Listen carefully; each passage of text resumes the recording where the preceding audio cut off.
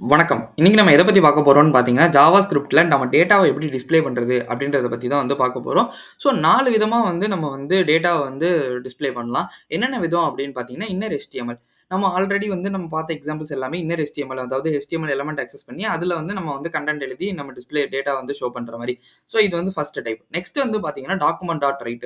இதுவுமே அப்படிதாங்க. HTMLோட அவுட்புட் வந்து ஷோ பண்ணும். ஸோ தேர்ட் விதம் என்னன்னு பார்த்தீங்கன்னா, அலர்ட்ன்னுவாங்க. அந்த அலர்ட் பாக்ஸ் வச்சு நம்ம வந்து என்ன டேட்டா வந்து ஷோ பண்ணணும் அப்படின்னு நினைக்கிறோமோ, அதை வந்து நம்ம ஷோ பண்ணலாம்.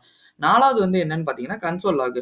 கன்சோல் லாக் நம்ம பெரும்பாலும் வந்து டீபக்கிங் பர்பஸ்க்காக தான் யூஸ் பண்ணுவோம். பட் இருந்தாலுமே அதையும் வந்து நம்ம டேட்டா வந்து ஷோ பண்ண முடியும்.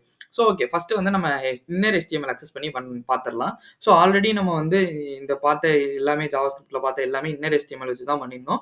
ஸோ நம்ம வெறும் ஜஸ்ட் டெக்ஸ்ட் மட்டும் தான் போட்டுட்டு இருந்தோம். ஸோ இப்போ ஏதாவது நம்பர்ஸ் கொடுத்து கால்குலேட் பண்ணு அப்படின்ற மாதிரி வந்துட்டு நம்ம ஜாவா ஸ்கிரிப்ட்க்கு கொஞ்சம் ஒர்க் கொடுக்கலாம் ஓகே ரைட். ஏதாவது வந்து இப்போ எப்படின்னு பார்த்தீங்கன்னா, ஒரு பேராகிராஃப் டேக் வந்து ஒன்று வைக்கிறேன். ஸோ அதுக்கு வந்து ஐடி வந்து வைக்கிறேன். ஸோ ஐடி வந்து நம்ம எப்பவும் போல டெமோன்றதே கொடுத்துடலாம் ஸோ கொடுத்துட்டு நான் இங்கே என்ன பண்ணுறேன்னு பார்த்தீங்கன்னா, ஸ்கிரிப்ட் டேக் வந்து போடுறேன். ஸோ ஸ்கிரிப்ட் டேக் வந்து போட்டுட்டேன். ஸோ ஸ்கிரிப்ட் டாக் தான் ஜாவா ஸ்கிரிப்ட் எழுதணும். அப்போ தான் வந்து அது ஒர்க் ஆகும். ஸோ இப்போ நம்ம என்னன்னு பார்த்தீங்கன்னா, டாக்குமெண்ட்டு இந்த இதுன்னு சொன்னிருந்தால இந்த எஸ்டிஎம்எல் எல்லாமே டாக்குமெண்ட். ஸோ அந்த டாக்குமெண்ட்டுன்ற கீவேர்டு போட்டுறணும். டாட் என்ன என்ன எது வழியாக நம்ம எடுக்க போகிறோம் ஸோ ஐடி வழியாக எடுக்க போகிறோம் so get element by ID. So அப்போ நம்ம அந்த ஐடிக்கு ஒரு நேம் கொடுத்துருப்போம் அது என்ன நேமு? இன்னும் டெமோன்றது கொடுத்துருக்கோம் ஸோ அதையும் வந்து இங்கே போட்டாச்சு. அப்புறம் வந்து பார்த்தீங்கன்னா, டாட் நான் என்ன எதை அக்சஸ் பண்ண போகிறேன் இன்னர் HTML தான் வந்து அக்சஸ் பண்ண போகிறேன் ஸோ இதுக்குள்ளே இருக்கிற இதை தான் நான் வந்து அக்சஸ் பண்ண போகிறேன் அது வந்து டாட் இன்னர் எஸ்டிஎம்எல் அப்படின்றது போட்டாச்சு. ஸோ போட்டுட்டு நான் இங்கே என்ன பண்ணுறேன்னு பார்த்தீங்கன்னா, 5+6 அப்படின்னா என்னன்றத கேட்குறேன் ஸோ கேட்டுட்டு நான் இங்கே வந்து போய் ப்ரௌசரில் வந்து ஒரு ரெஃப்ரெஷ் பண்ணுறேன் ஸோ பார்த்தீங்களா 5+6 வந்து 11ன்னு வந்துருச்சு. ஸோ இதுதான் கிடையாது. இப்போ நான் டென் ப்ளஸ் சிக்ஸ்ன்னு கொடுக்குறேன் ஸோ 16ன்றது மாறிடுச்சு. இப்போ லெவன் ப்ளஸ் சிக்ஸ் கொடுக்கலாம் நம்ம என்ன என்ன கொடுக்குறோமோ அதாவது வந்து இங்கே நீங்கள் செவன்றது உங்களுக்கு தெரியும். ஸோ அது ஏன்னா நான் இங்கே ரெஃப்ரெஷ் பண்ணோன்னா இது வந்துடும் பாருங்க. 11+6 அது சில டைம்ஸ் வந்து அந்த லைவ் சர்வரில் வந்துட்டு அந்த இஷ்யூ இருக்குது ஸோ ரெஃப்ரெஷ் பண்ண வேண்டியது வருது. ஸோ இதனால தான் வந்து அங்கே செவன் காட்டுச்சு. பட் ஆனால் செவன்டீன் தான். ஸோ இன்னர் எஸ்டிஎம்எல் வந்து இப்படி தான் வந்து பண்ண முடியும்.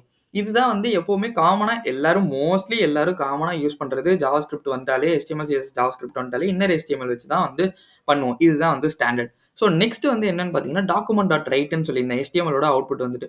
ஸோ இதை வந்து நம்ம ஏன் யூஸ் பண்ணணும்னு பார்த்தீங்கன்னா, பர்டிகுலராக டெஸ்ட் பண்ணும்போது மட்டும்தான் வந்து யூஸ் பண்ணணும். இல்லாட்டி இது வந்து என்ன பண்ணணும்னா ப்ரீவியஸாக உள்ள எஸ்டிஎம்எல் டாக்குமெண்ட் எல்லாமே வந்து டெலிட் டெலீட் ஸோ அது ஏன் அப்படி சொல்கிறேன்னு பார்த்தீங்கன்னா, இப்போ வந்து நம்ம ஒரு எக்ஸாம்பிள் வச்சு பார்த்துடலாம். ஸோ நான் இந்த பேராகிராஃப் டேகை இப்போதைக்கு கமெண்ட் பண்ணிக்கிறேன். ஸோ கமெண்ட் பண்ணிட்டு நான் என்ன பண்ணுறேன்னா ஒரு பட்டன் வந்து ஒன்று வைக்கிறேன். ஸோ பட்டனில் வந்துட்டு டைப் ஆஃப் பட்டன்றது வைக்கிறேன். ஸோ இதுக்கு நம்ம ஐடிலாம் தேவையில்லை நான் உள்ளேயே வந்து அதை நான் எழுதி காமிச்சிடுறேன். ஸோ வந்து பிரச்சனை இல்லை ஸோ ஆன் கிளிக்கில் வந்துட்டு நான் என்ன பண்ணுறேன்னு பார்த்தீங்கன்னா, டாக்குமெண்ட் டாட் டாக்குமெண்ட் டாட் நான் என்ன சொன்னேன்னா, ரைட்டு தான் பண்ண போகிறேன் ஸோ ரைட்டுன்றதை கொடுத்துட்டேன் ஸோ கொடுத்துட்டு நான் இங்கே என்ன பண்ணுறேன்னா சும்மா சேம் எக்ஸாம்பிள் ஒரு 5+6 ஒரு பேசிக்கான ஒரு எக்ஸாம்பிளே வச்சிடலாம் ஸோ வச்சிடுறேன். இங்கே வந்துட்டு கிளிக் மீ அப்படின்ற மாதிரி வந்து இந்த பட்டனுக்கு வந்து நேம் ஸோ இங்கே ஒரு ரெஃப்ரெஷ் பண்ணிடுவோம் கிளிக் மீன்றது வந்துருச்சு. கோட் வித் டெஸ்ட்ன்றது ஆல்ரெடி இருக்குது பார்த்தீங்களா? நான் இப்போ இந்த கிளிக் மீ கொடுத்தோன்னே என்ன ஆகுன்றத பாருங்களேன். ஸோ வெறும் 5+6ன்றது மட்டும் தான் வந்து வருது. ஆனா வந்துட்டு இது வரல. ஸோ இதுலயுமே வந்து 5+6 வந்து ஏன் வந்து அவுட்புட் வரல அப்படின்னு பார்த்தீங்கன்னா, நான் இங்க ஒரு சின்ன மிஸ்டேக் பண்ணிட்டேன். இங்க டபுள் கோட்ஸ்ல குடுத்துட்டேன். அதனால அதை ஸ்ட்ரிங்கா கன்சிடர் பண்ணி எனக்கு வந்து அந்த 5+6க்கு வந்து அப்படியே டிஸ்ப்ளே ஆயிடுச்சு. ஸோ நான் இந்த மாரி குடுத்தா தான் வந்து அது நம்பர்ல வந்து டிஸ்ப்ளே பண்ணும். ஸோ இங்கே மறுபடியும் வந்து ரெஃப்ரெஷ் பண்ணிடலாம். ஸோ நான் இங்கே மறுபடியும் கிளிக் மீ கொடுக்குறேன் ஆல்ரெடி எக்ஸிஸ்டிங்காக உள்ள எஸ்டிஎம்எல் டாக்குமெண்ட் வந்து டெலிட் ஆகிடுச்சு பார்த்தீங்களா? ஸோ இது வந்து நமக்கு நடக்கக்கூடாது. அதனால் நான் என்ன பண்ணுறேன்னா இந்த டாக்குமெண்ட் ஆட் ரைட் வந்து எனக்கு எப்பயாவது டெஸ்ட் பண்ணணும். ஏதாவது ஒரு சின்ன விஷயம் வந்து தெரியணும் அப்படின்றனா, அதுக்காக மட்டுமே யூஸ் பண்ணணும் தவிர்த்து, இதை வந்து நம்ம மோஸ்ட்லி வந்து யூஸே பண்ணக்கூடாது. ஸோ நெக்ஸ்ட் வந்து எப்படி நம்ம வந்து டேட்டாவை டிஸ்ப்ளே பண்ணலாம் அப்படின்னு பார்த்தீங்கன்னா வந்துட்டு, அலர்ட் பாக்ஸ் வச்சு டிஸ்ப்ளே பண்ணலாம். ஸோ அலர்ட் பாக்ஸ் வந்து ரொம்பவே யூஸ்ஃபுல்லாக இருக்கும்.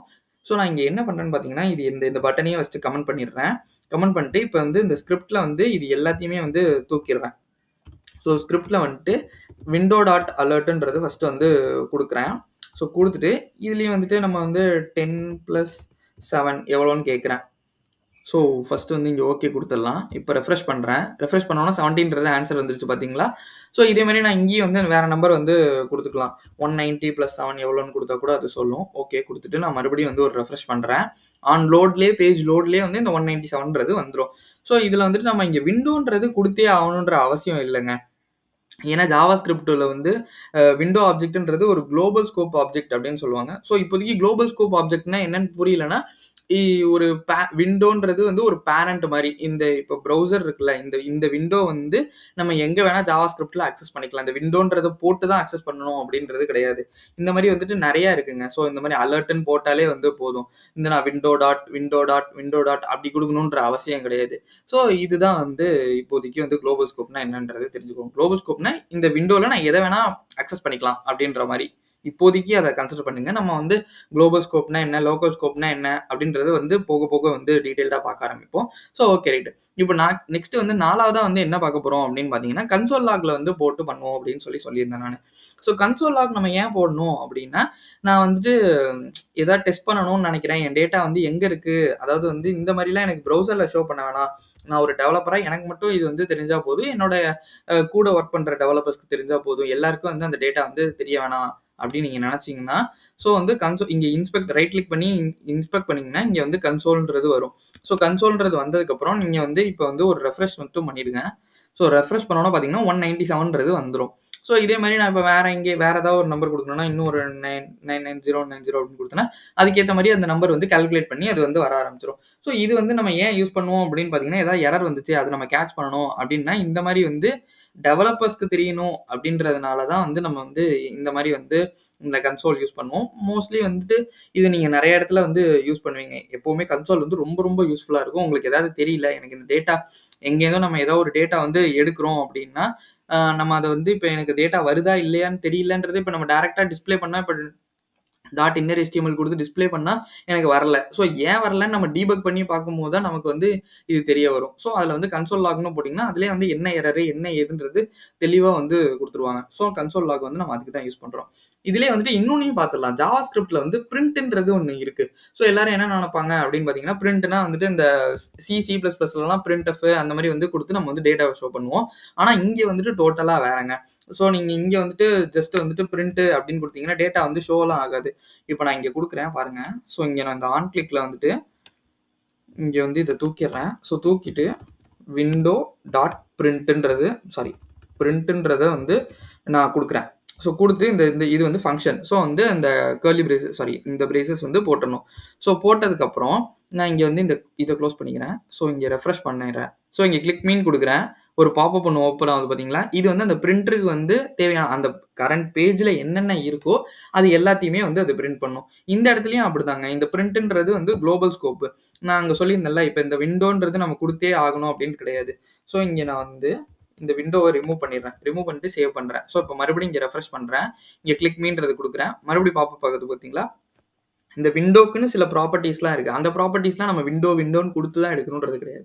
இந்த மாதிரி நார்மலாகவே நம்ம கொடுத்து தெரிஞ்சுக்கலாம். ஸோ இந்த வீடியோவில் ஏதாவது உங்களுக்கு டவுட் இருந்தால் மறக்காமல் வந்து கமெண்ட் பண்ணுங்க. நான் உங்களுக்கு கண்டிப்பாக ரிப்ளை பண்ணுறேன் இந்த வீடியோ பிடிச்சிருந்தா லைக் பண்ணுங்கள் சப்ஸ்கிரைப் பண்ணுங்க, ஷேர் பண்ணுங்க. தேங்க் யூ ஃபார் வாட்சிங் திஸ் வீடியோ.